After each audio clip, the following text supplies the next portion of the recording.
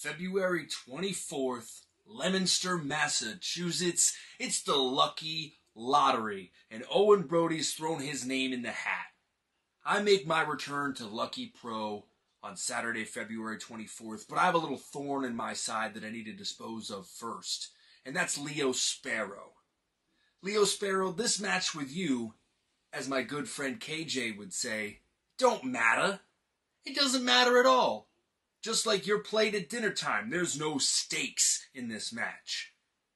Win, lose, or draw, we both go on to the lucky lottery that I plan on winning and then cashing in to become the lucky pro wrestling heavyweight champion.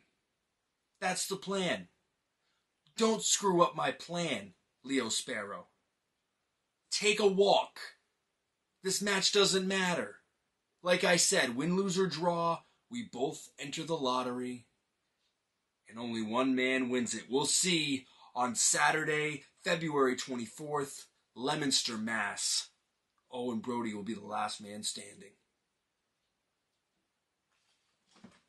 Good enough for me.